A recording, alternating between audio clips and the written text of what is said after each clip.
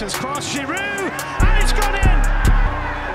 Olivier Giroud puts Chelsea in front. Azpilicueta supporting it here from right back. Tammy Abraham's in the middle! And what a finish that is! What a way to score your first!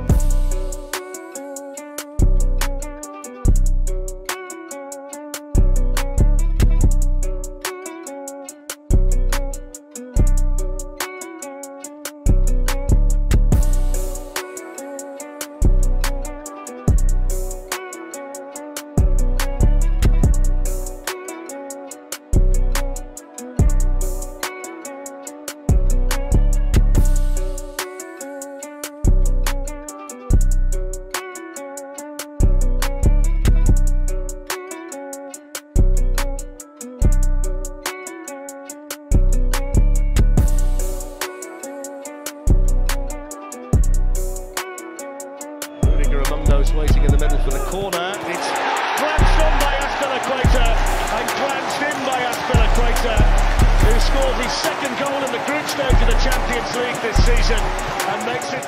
Here's Christian Pulisic into the danger area. It's in. Well, Azpilicueta might well have got the final touch. I think the Chelsea players now were looking for any potential offside. But it's a captain's goal that just about gives Chelsea a lifeline. A short Chelsea corner, oh, squeezed in! It's Azpilicueta! And when Chelsea needed him, the captain